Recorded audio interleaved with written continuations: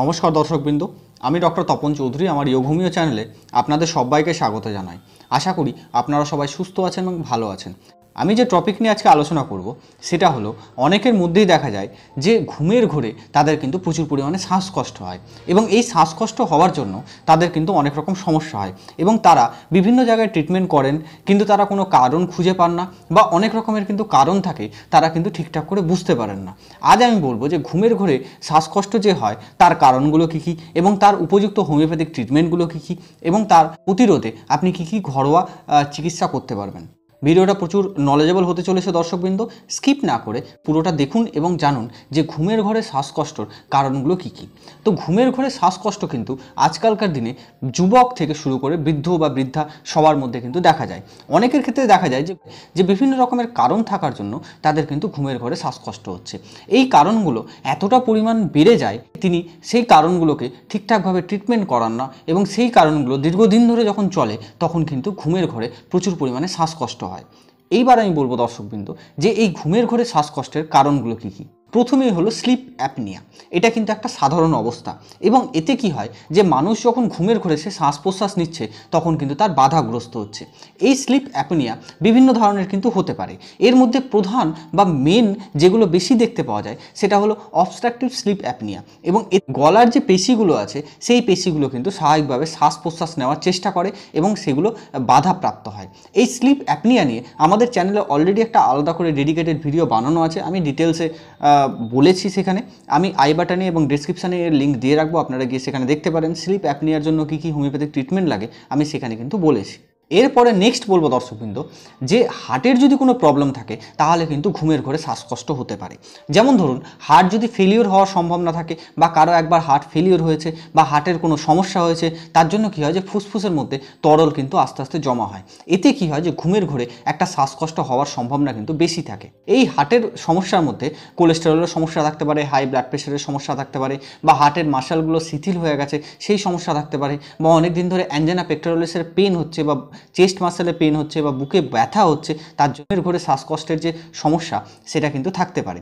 এর জন্য কি হয় যে বুকের মধ্যে প্রচুর পরিমাণে চাপ বোধ হয়, বুকে সবসময় ব্যথা অনুভব হয় এবং মনে হয় ঘুমের ঘরে যে কেউ যেন বুকের উপরে বসে আছে। এরপরে দর্শকবৃন্দ নেক্সট কারণ হলো যে অত্যাধিক ওজনের জন্য বা ওবেসিটির জন্য কিন্তু ঘুমের ঘরে শ্বাসকষ্টের সমস্যা হতে পারে। এতে কি হয় যে ঘাড় বা কাঁধের যে মাংসপেশিগুলো আছে, সেইগুলো বৃদ্ধির কারণে বা সেইগুলো ওজনের কারণে অনেক সময় কিন্তু মানুষের শ্বাস নিতে অসুবিধা হয়। বিশেষ করে ঘুমের সময় দেখা গেছে যারা প্রচুর পরিমাণে ওবেস বা যারা মোটা, তাদের ক্ষেত্রে কিন্তু ঘুমের ঘরে একটা শ্বাসকষ্টের কিন্তু ইতিহাস দেখতে পাওয়া যায়। এই ওবেসিটি কমানোর জন্য আমাদের চ্যানেলে অলরেডি ডেডিকেটেড ভিডিও বানানো আছে, আপনি গিয়ে দেখতে পারেন। আমি আই বাটনে এবং ভিডিওর ডিসক্রিপশানে এই ভিডিওর লিঙ্ক দিয়ে রাখব।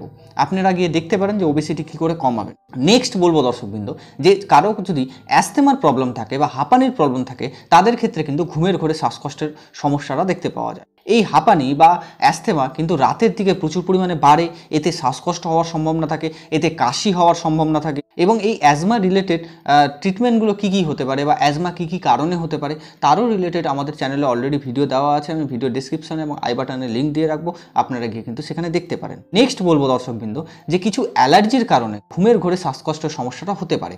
যেমন ধরুন কারও যদি ব্রঙ্কেল অ্যালার্জির সমস্যা থাকে বা ডাস্ট অ্যালার্জির সমস্যা থাকে, তাহলে কিন্তু ঘুমের ঘরে শ্বাসকষ্ট হওয়ার সম্ভাবনাটা দেখতে পাওয়া যায়। এবং এতে দেখা যায় যে শ্বাস নিতে অসুবিধা হতে পারে বা দেখতে পাওয়া যায় যে ঘুমের ঘরে তার কিন্তু শ্বাস নিতে সে পাচ্ছে না, শ্বাসকষ্ট হচ্ছে। বিশেষ করে ঘুমের ঘরে কিন্তু এই ডাস্ট অ্যালার্জির সমস্যাটা বা এই ব্রঙ্কেল অ্যালার্জির সমস্যাটা বাড়তে পারে। নেক্সট বলব দর্শকবৃন্দ যে GERD gastro oesophageal reflux disease. এতে কি হয় যে পেটের যে অ্যাসিড, সেই অ্যাসিডটা কিন্তু শ্বাসনালীতে প্রবেশ করতে পারে এবং এতে শ্বাসকষ্টের একটা অসুবিধা দেখা দিতে পারে। বিশেষ করে রাতের দিকে কিন্তু এটা দেখতে পাওয়া যায় বা যাদের অ্যাসিডিটি হওয়ার সম্ভাবনা আছে বা হাইপার অ্যাসিডিটি হওয়ার সম্ভাবনা আছে, তাদের মধ্যে কিন্তু এই সমস্যাটা দেখতে পাওয়া যায়। অনেক সময় দেখা যায় যে উদ্বেগ বা প্যানিক অ্যাটাকের জন্যও কিন্তু ঘুমের ঘরে শ্বাসকষ্টের সমস্যা দেখতে পাওয়া যায়। এই যে ঘুমের ঘরে শ্বাসকষ্টের সমস্যাটা, উদ্বেগ বা প্যানিক অ্যাটাকের ফলে কি হয়? যে আপনি যখন সেই ঘুমের আগে কখনো কোনো একটা উদ্বেগ বা প্যানিক প্যানিক অ্যাটাকের মধ্যে দিয়ে যাচ্ছেন, তখন কিন্তু আপনি যখন ঘুমোতে যাচ্ছেন, তখন কিন্তু আপনার শ্বাসকষ্ট হচ্ছে। বা আপনি যদি ঘুমানোর চেষ্টা করছেন, তখন কিন্তু আপনার শ্বাসকষ্ট হচ্ছে। নেক্সট যে কারণ হলো দর্শকবৃন্দ, সেটা হলো সিওপিডি এতে কি হয় যে ফুসফুসের মধ্যে কিন্তু একটা রোগের গ্রুপ একটা কিন্তু আক্রমণ করে, বা ফুসফুসে কিন্তু একটা গ্রুপ অফ যে ডিজিজ আছে, বা অনেকগুলো রোগ একসাথে যদি থাকে, তাহলে কিন্তু শ্বাসকষ্টের সমস্যা হয়, বা ঘুমের ঘরে কিন্তু শ্বাসকষ্টের সমস্যা হয়। এরপরে বলব দর্শকবৃন্দ, যে এই ঘুমের ঘরে শ্বাসকষ্টের সমস্যার লক্ষণগুলো কী কী? না, প্রথমেই বলব যে ঘুমের ঘরে যদি শ্বাসকষ্টের সমস্যা হয়, তাহলে কিন্তু অনেকের ক্ষেত্রে দেখা যায় যে ঘুমের ঘরে তার শ্বাসকষ্ট হচ্ছে। অনেকের ক্ষেত্রে দেখা যায় চেস্ট প্রচুর ব্যথা হচ্ছে বা বুকে ব্যথা হচ্ছে। অনেকের ক্ষেত্রে দেখা যায় যে বুকে প্রচুর পরিমাণে কেউ যেন চেপে বসে আছে বা মনে হচ্ছে বুকটা যেন চাপ চাপ হয়ে আছে বা বুকে কিন্তু সে শ্বাস নিতে পারছে না। বা অনেকের ক্ষেত্রে শ্বাসকষ্ট দেখতে পাওয়া যায়, অনেকের ক্ষেত্রে কাশি দেখতে পাওয়া যায়, অনেকের ক্ষেত্রে শুষ্ক কাশি দেখতে পাওয়া যায়, অনেকের ক্ষেত্রে কাশিতে কফ উঠতে পারে বা অনেকের ক্ষেত্রে প্রচুর পরিমাণে হাঁচি হচ্ছে। এইসব কিন্তু দেখতে পাওয়া যায়। এরপরে বলব দর্শকবৃন্দ, যে এই ঘুমের ঘোরে শ্বাসকষ্টতে আপনি কি কি হোমিওপ্যাথি ওষুধ ব্যবহার করবেন, তার আগে বলব, যারা আমার চ্যানেলে নতুন আছেন, অবশ্যই চ্যানেলটাকে সাবস্ক্রাইব করে বেল আইকনটা প্রেস করে দিন, যাতে আমি এরকম ইনফরমেটিভ ভিডিও আপনাকে টাইম টু টাইম পৌঁছে দিতে পারি। আজকে আমাদের যে প্রথম ওষুধ, সেটা হলো আর্সেনিক অ্যালবাম অনেকের মধ্যে দেখা যায় যে শ্বাসকষ্ট তার কিন্তু কোনো একটা অ্যাংজাইটির কারণে হচ্ছে, কোনো একটা উদ্বেগের কারণে হচ্ছে।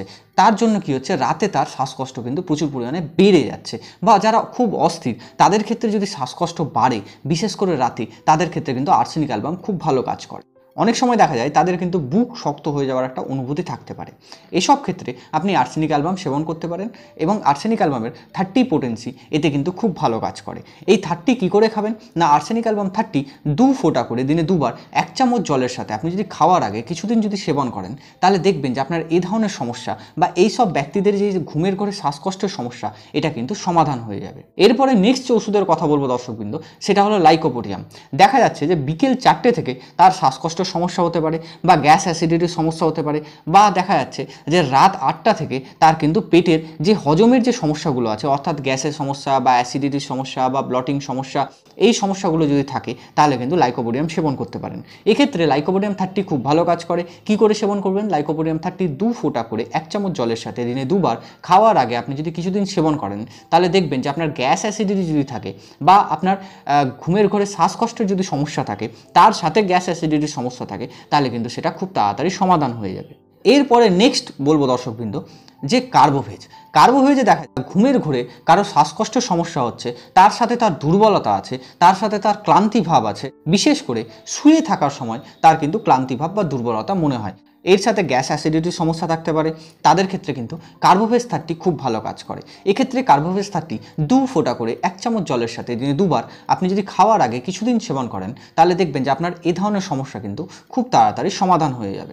এরপরে নেক্সট যে ওষুধের কথা বলব দর্শকবৃন্দ, সেটা হলো স্পঞ্জিয়া টোস্টা অনেকের ক্ষেত্রে দেখা যায় যে ঘুমের ঘোরে তার কিন্তু প্রচুর পরিমাণে শুষ্ক কাশি হয় বা অনেকের ক্ষেত্রে কাশি কিন্তু দেখতে পাওয়া যায় এবং তার এতটাই কাশির জন্য শ্বাসকার্য কষ্ট হয় যে সে কিন্তু উঠে বসতে বাধ্য হয় বা তার ঘুমের ঘোরে এতটাই শ্বাসকষ্ট হয় সে কিন্তু উঠে বসে, তাতে সে আরাম পায়। তাহলে কিন্তু আপনি স্পঞ্জিয়া টোস্টা এই যে হোমিওপ্যাথি ওষুধটা, এটা কিন্তু সেবন করতে পারেন। এক্ষেত্রে স্পঞ্জিয়া টোস্টা থার্টি, দু ফোঁটা করে, দিনে দুবার, এক চামচ জলের সাথে খাওয়ার আগে কিছুদিন যদি আপনি সেবন করেন, তাহলে দেখবেন যে আপনার এই ধরনের সমস্যা খুব তাড়াতাড়ি কিন্তু সমাধান হয়ে যাবে।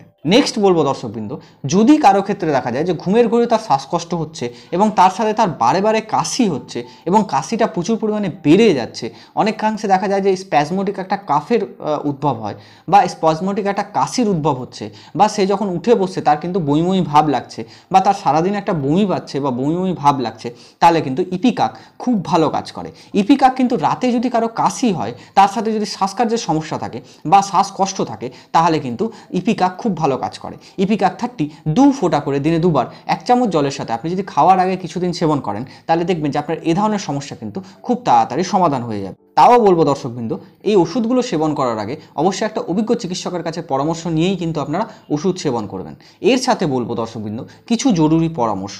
প্রথমেই বলব, যদি আপনার ঘুমের ঘরে শ্বাসকষ্টের সমস্যা হয়, তাহলে কিন্তু আপনি উঠে বসতে পারেন। যখন আপনি উঠে বসবেন, তখন কিন্তু আপনি সামনের দিকে ঝুঁকে বসুন বা রিল্যাক্স হয়ে বসুন। তাতে দেখবেন যে আপনার ঘুমের ঘরে শ্বাসকষ্ট হওয়ার যে সমস্যাটা, সেটা কিন্তু অনেকখানি কমবে এবং আপনি কিন্তু একটা শান্তির ঘুম নিতে পারবেন।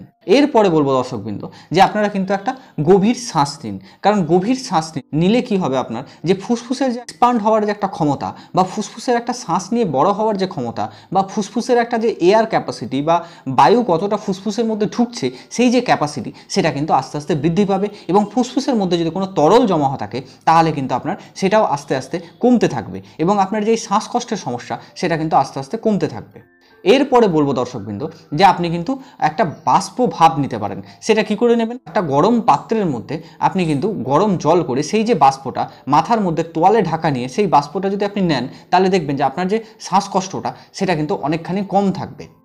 নেক্সট বলব দর্শকবৃন্দ, আপনারা কিন্তু ব্ল্যাক কফি খেতে পারেন। কারণ ব্ল্যাক কফিতেও দেখা গেছে যে এই যে ঘুমের ঘোরে শ্বাসকষ্ট হওয়ার সম্ভাবনা, এটা কিন্তু অনেকখানি কমে। নেক্সট বলব দর্শকবৃন্দ, যে আপনি কিন্তু আদা চা বা আদা জল খেতে পারেন। কারণ আদা কিন্তু রেসপিরেটরি ট্র্যাক্টের উপরে বা শ্বসন যন্ত্রের উপরে খুব ভালো কাজ করে। এবং এতে কি হয়? যে আপনার কাশি কমবে, এতে আপনার শ্বাসকষ্ট কমবে, এতে আপনার কি হবে? ঘুমটা খুব ভালো হবে। তাই আপনি আদা জল বা আদা চা কিন্তু খেতে পারেন। নেক্সট বলব দর্শকবৃন্দ যে আপনি কিন্তু হলুদ খেতে পারেন। এই হলুদটা কি করে খাবেন? না গরম দুধের সাথে এক চামচ হলুদ মিশিয়ে কিন্তু আপনি খেতে পারেন। হলুদের মধ্যে একটা অ্যান্টি ইনফ্লামেটরি একটা গুণ রয়েছে এবং হলুদের মধ্যে অ্যান্টি অক্সিডেন্ট একটা গুণ রয়েছে। এতে কি হবে? আপনার কাশিটা কমবে, এতে কিন্তু আপনার শ্বাসকষ্ট হওয়ার সম্ভাবনাটা সেটাও কিন্তু অনেকখানি কম থাকবে। কি বলব দর্শকবৃন্দ যে একটা এক্সারসাইজ করুন, সেটা হলো পার্স লিপ ব্রিথিং এতে কি করবেন? যে প্রথমে বলব যে আপনার কিন্তু ঘাড়ের বা কাঁধের পেশিগুলোকে রিল্যাক্স করুন। তারপরে কিন্তু নাকের মাধ্যমে আস্তে আস্তে করে শ্বাস নিন এবং সেটাকে এক থেকে দুই তিন, এরকম করে কাউন্ট করে, এক, দুই, তিন কাউন্ট করে আপনি সেই শ্বাসটাকে কিন্তু একটু ধরে রাখুন। তার মধ্যে মুখটাকে বন্ধ রাখুন এবং তারপরে সেই শ্বাসটাকে এক, দুই কাউন্ট করার পরে আপনি কিন্তু ঠোঁটটাকে হালকা করে কুচকে সিজ দেওয়ার মতো আস্তে আস্তে করে কিন্তু শ্বাসটাকে ছাড়ুন এবং এক থেকে চার পর্যন্ত কিন্তু গুনতে থাকুন। এতে কি হবে যে আপনার কিন্তু যে ব্রিদিং একটা এক্সারসাইজ হবে এবং এতে কি হবে আপনার শ্বাসকষ্ট হওয়ার সম্ভাবনাটা সেটা কিন্তু অনেকখানি কমবে। নেক্সট বলব দর্শকবৃন্দ, যে আপনারা কিন্তু যদি কারও ধূমপান করার অভ্যেস থাকে, সেটা কিন্তু ত্যাগ করতে হবে।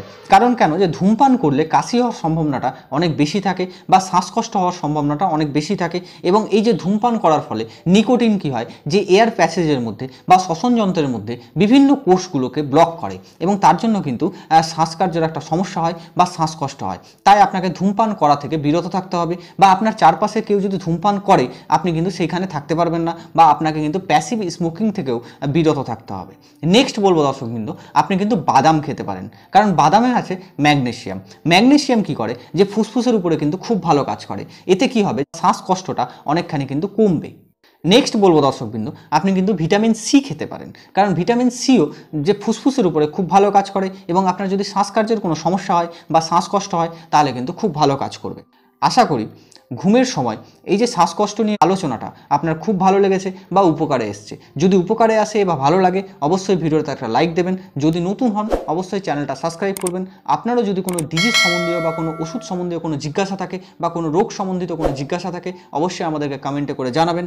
ভালো থাকুন, সুস্থ থাকুন এবং দেখতে থাকুন ইয়ে ঘুমিয়ে চ্যানেল। আজকের মতো ধন্যবাদ, নমস্কার।